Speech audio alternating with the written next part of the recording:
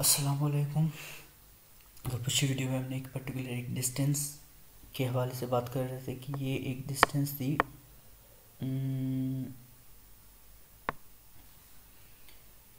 Figure बहुत ज़्यादा ख़राब हो गई, लेकिन क्रिटिकल सेक्शन हमें पता है कि क्रिटिकल सेक्शन हमारा कहाँ है? ये इस फिगर में बताता हूँ।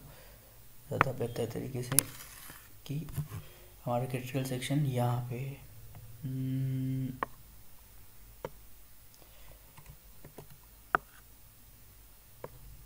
ठीक है, हमारा क्रिटिकल सेक्शन कहाँ पे है? इस पॉइंट पे। तो ये जो डिस्टेंस शो कर रहा है रेड कलर में, वो डिस्टेंस एक्स है सपोज़ करें। तो अभी जो शेयर फोर्स चाहिए यहाँ पे Q V U shear force वो किसके बराबर होगी? वो बराबर होगी क्यू क्यू मतलब net एटवर्क pressure multiply by X ये एक्स डिस्टेंस ये हमें यहाँ पे बताएगा कि शेयर फोर्स कितनी है।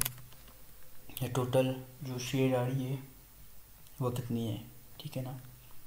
अब डेप्थ फॉर शेयर रिक्वायरमेंट निकालने के लिए हमें कुछ चीज़ें जहन में रखनी पड़ेंगी, कुछ स्टेप्स हैं, तीन स्टेप्स हैं जो हमें हमें अपने जहन में रखने पड़ेंगे। वो क्या है क्योंकि वो बार बार हो सकता है रिपीट हो। इशू यहाँ पे आता है, इसमें हम डेप्थ निकालते हैं। शेयर पे हम हाँ इसमें हम एक फार्मूला है, उससे हम डेप्थ निकालते हैं। वो डेप्थ हमें बताता है कि ये रिक्वायर्ड डेप्थ कितनी है। वो हमें क्या बताता है कि रिक्वायर्ड डेप्थ कितनी है। तो इसमें ओवरऑल जो स्टेप्स वाले होते हैं ना, वो तीन होते हैं। स्टेप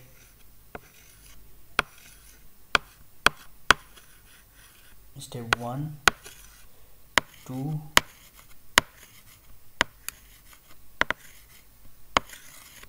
और थ्री ठीक है, पहले स्टेप में हम एज्यूम्ड डी रखेंगे, ठीक है ना? और एज्यूम डेप्थ जितनी भी होगी हमारी एज्यूम डेप्थ कितनी है? ट्वेंटी इंचज़ है अभी। इफ़ेक्टिव डेप्थ निकालेंगे बल्कि assume T dash effective depth क्योंकि इफ़ेक्टिव डेप्थ ओवरऑल डेप्थ से कम होती है। उसके बाद हम शेयर फोर्स निकालेंगे वी यू वी यू का फॉर्मूला ऊपर लिखा हुआ है, जिसके लिए हमने थोड़ी सी डेरिवेशन की दिखाई कि किस तरह वी फाइंड करें। तीसरे स्टेप में हम रिक्वायर्ड डी डैश निकालेंगे। उसका फॉर्मूला है। उसका फॉर्मूला क्या है? फॉर्मूला उसका बराबर है V U upon five two radical f of c dash multiply by b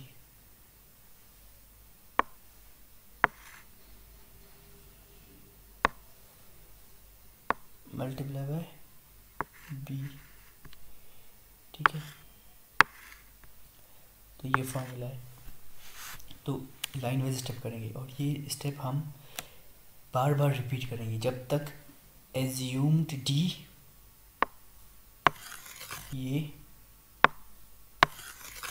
और रिक्वायर्ड डी बराबर ना आ जाए, ठीक है ना? हो सकता है बराबर आए भी नहीं। एक की वैल्यू आए ट्वेंटी वन पॉइंट थ्री दूसरे की वैल्यू आए ट्वेंटी वन पॉइंट सेवन तो इनको हम बोल सकते हैं कि ये ऑलमोस्ट इक्वल है। ज़ीरो पॉइंट का फ़र्क है। लेकिन एक का फ़र्क नहीं आना चाहिए मिसाल तौर अगर एक हमारी इक्कीस आई है और दूसरी हमारी बाईस आई है इंचज़ में।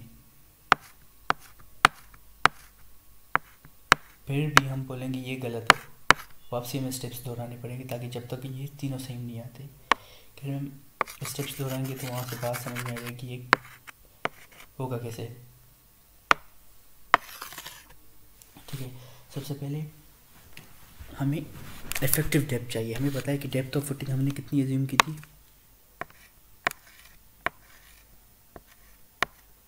एज्यूम डेप्थ ऑफ़ फुटिंग कितनी थी? ट्वेंटी इंचेस जिसको मैं ओवरऑल हाइट भी बोल सकता हूँ, किसकी फुटिंग की? अब मैं आ रहा हूँ किसके ऊपर? किसके ऊपर नहीं, लेकिन हाँ अब मुझे इफ़ेक्टिव डेप्थ निकालनी इफ़ेक्टिव डेप्थ निकालने से पहले मुझे कंक्रीट कवर जो हम फुटिंग का कंक्रीट कवर होता है ना वो तीन इंचेस एज्यूम करते हैं।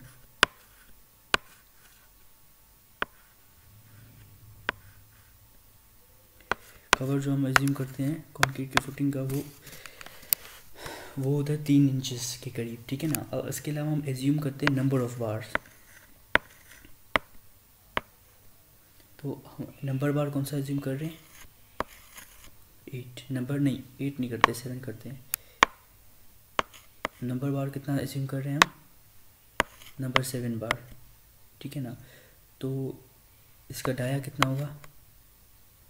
नंबर बार डाया ऑफ़ ये हमारी एज्यूम डेट है ना? डाया नंबर सेवन बार का कितना होता है? सेवन बाई एट अगर मैं यहाँ पे कैलकुलेटर यूज़ करूँ तो मुझे सेवन बाई एट का आंसर भी मिल जाएगा। Zero point eight seven five ठीक है ना? तो अगर मुझे यहाँ पे वो निकालना है इफ़ेक्टिव डेप्थ निकालनी है डी डैश तो डी डैश किसके बराबर होगी? डी डैश बराबर है एच माइनस कवर कवर हमारा कितना है? H by H minus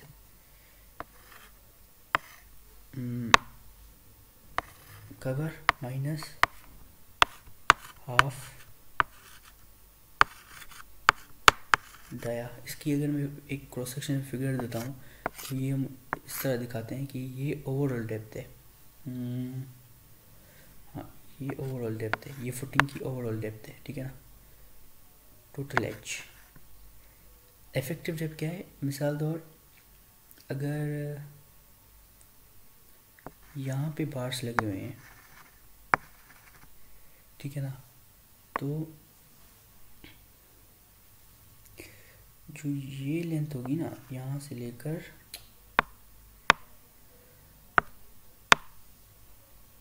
यहाँ से लेकर टॉप से लेकर बाढ़ के आधे राया तक, आधे राया तक, समझिए।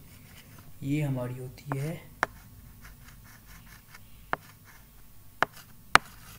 इफ़ेक्टिव डेप्थ डी डैश तो कॉन्सेप्ट क्लियर हो गया, बाकी रही बात आगे इसको सॉल्व करने की तो वो हमारी इफ़ेक्टिव डेप्थ हमारा कितना होगा? कितनी होगी?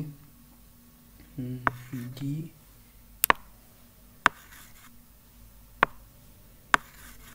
डी डैश हमारा बराबर हुआ।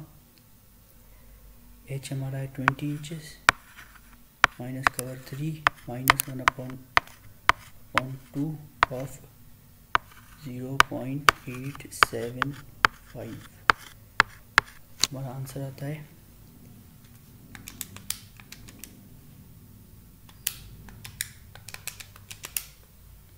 Sixteen point five six five six two five inches तो ये डी डैश हमारी क्या है? ये हमारी एज्यूम्ड डेप्थ है। डैश हमारी क्या है? एज्यूम डेप्थ तो पहला स्टेप हो गया। सेकंड स्टेप हमारा क्या था? व्यू निकालना। व्यू ठीक है ना? ये पहली चीज़ हो गई हमारी।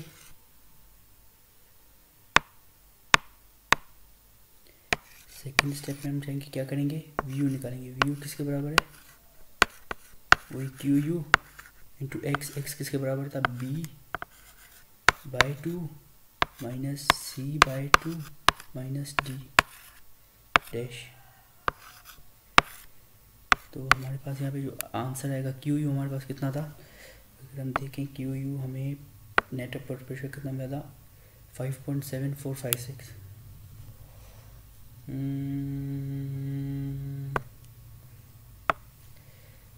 five five point seven four five six multiply by B by two width कितनी है हमारे पास? इलेवन फिट एलेवन फिट में तो डिवाइडेड बाय अब इसको हम इंचेस में कन्वर्ट करें। शेयर फोर्स निकाल रहे हैं ना सही है। इलेवन बाई टू फिट में है। ये ये चीज़ याद रखनी कि हम ये हर चीज़ फिट में रख रहे हैं ताकि आगे भी जितनी भी वैल्यूज़ रखें। उसके बाद सी बाई टू सी हमारे पास twenty minus C twenty inches में है। ये सवाल में गिवन है कॉलम की विथ कितनी है? वो ट्वेंटी सवाल में गिवन है और इंचज़ को फिट में कन्वर्ट करने के डिवाइडेड बाई ट्वेल्व ठीक है? माइनस डी डैश अब डी डैश क्या है? इफ़ेक्टिव डेप्थ वो भी हमें सिक्सटीन पॉइंट अच्छा दो सेकेंड या सी बाय टू था, ये तो फिट में कन्वर्ट हो गया मल्टीप्लाई बाय टू भी होगा, क्योंकि डिवाइड बाय टू भी है। और ये अभी थर्ड चीज़ है डी डैश इफ़ेक्टिव डेप्थ हमारी कितनी है? Sixteen point five six two five divided by two ठीक है, अब ये इन दोनों को मल्टीप्लाई करेंगे या माइनस करेंगे तो चेक अब अब हम चेक करेंगे हमारा हमारी शेयर फोर्स कितनी आती है। तो वही निकाल रहे हैं। Minus twenty by twenty four minus sixteen point five six two five by two eleven by two feet में, नहीं नहीं नहीं नहीं टी डैश बाई ट्वेल्व होगा। क्यों? ये इंचज़ में फिट में कन्वर्ट करना है। Eleven by two minus twenty by twenty four minus sixteen point five six two five divide by twelve तो हमारे आंसर आता है three point two eight six और अगर हम वही मल्टीप्लाई करते हैं five point seven four five six से तो हमारे आंसर आता है एटीन पॉइंट एट एट या एटीन पॉइंट एट एट हम वही लिखते हैं। दो फिगर्स में तो हमारे आंसर है एटीन यहाँ से एटीन पॉइंट एट एट याद रखना है, ठीक अब सेकेंड स्टेप की तरफ़ हमें V U eighteen point eight eight ठीक है। और अगर हम तीसरे स्टेप की तरफ़ आए तो नहीं काम नहीं करते कभी कभार खैर वी हो गया अब अब हम निकालेंगे क्या required depth required T dash इसका फॉर्मूला क्या है? V U upon five two F C dash B तो वो हमारे पास बराबर है।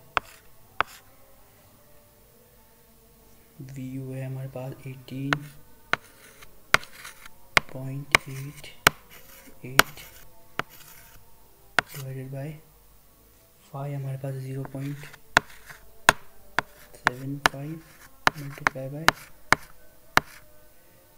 two multiply by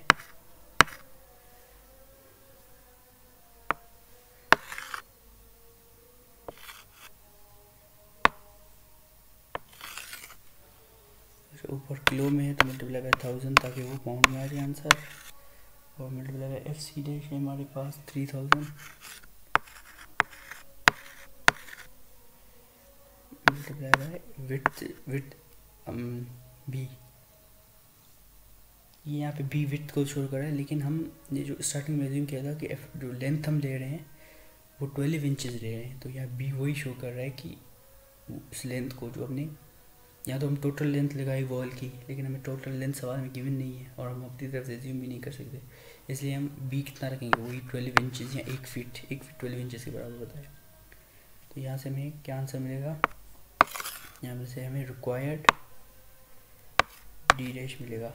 और अगर हम रिक्वायर्ड डी डैश कैलकुलेटर से कैलकुलेट करें तो?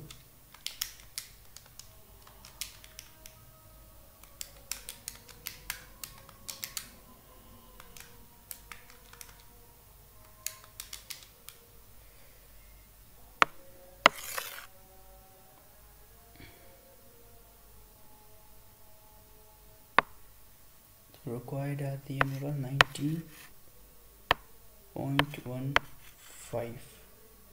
ठीक है? इंचज़ और ये इफ़ेक्टिव डेप्थ है।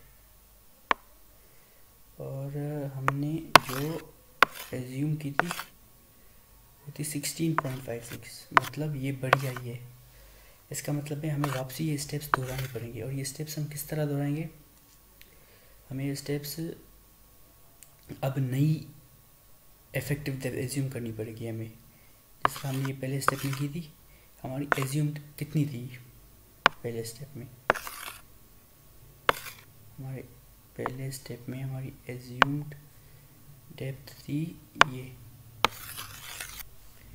Sixteen point five two five six two five अब हमें एज्यूम करके बढ़ानी पड़ेगी, लेकिन इसका एक शॉर्ट फॉर्म तरीका है।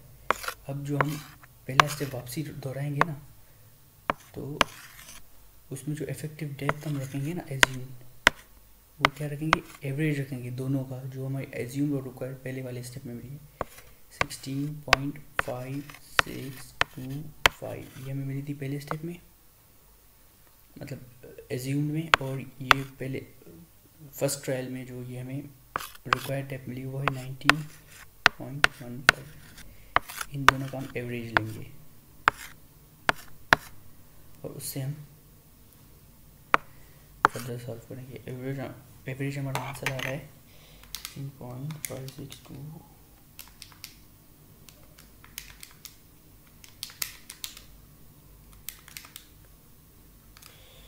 sixteen point five six two five plus nineteen point one five divided by two ये हमारे पास आ रही है एज्यूम डेप्थ इस बार जो हमारी होगी, वो होगी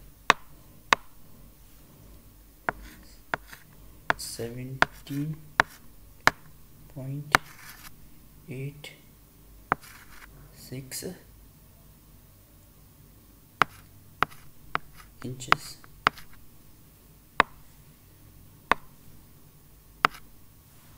ठीक है ना अब ये हमारी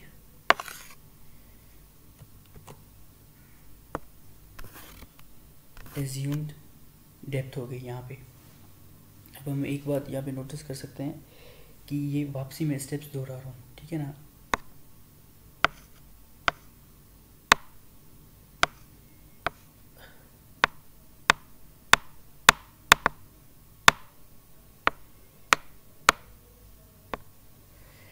खैर, यहाँ तक तो बात के लिए अच्छा उसके बाद वापसी मुझे, अब जो जो मुझे नई इफ़ेक्टिव डेप्थ मिली है, उससे मुझे वापसी वी यू निकालना पड़ेगा, फिर मुझे रिक्वायर्ड डेप्थ निकालनी पड़ेगी, अगर वो क्लोज आती है सेवनटीन पॉइंट एट सिक्स के तो सही है। अगर नहीं आती और पॉइंट पूरे एक यूनिट एक इंच का फ़र्क आता है कम से कम।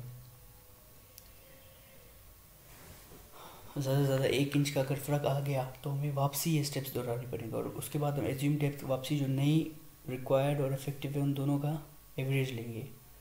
और ये स्टेप हो सकता है हमारे अच्छा ऐसी सीन हो तो इसमें ज़्यादा से ज़्यादा तीन तीन अटैम्प्ट हो, तीन अटैम्प्ट से ज़्यादा नहीं। तीन अटैम्प्ट में कोशिश करो कि वैल्यू आ जाए, नहीं आई तो फिर कोई भी एवरेज वैल्यू ले लो। अब इससे फ़ायदा क्या होगा? इससे फ़ायदा होगा कि हमें इकोनॉमिकल सेक्शन मिलेगा as well as shear requirement भी इससे सेटिस्फाई हो जाएगी। ये हमारा फुल स्टेप था।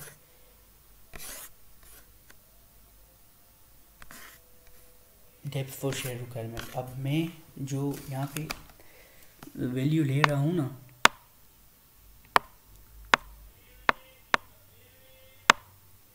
वो मैं ले रहा हूँ seventeen point eight six inches या इसको मैं थोड़ा सा और बढ़ा दूँ तो एटीन इंचज़ में, अपने एटीन पॉइंट फाइव इंचज़ में, अपने नेक्स्ट स्टेप में मतलब यहाँ से कंफर्म कर रहा हूँ कि मैं एटीन पॉइंट फाइव इंचज़ लूँगा।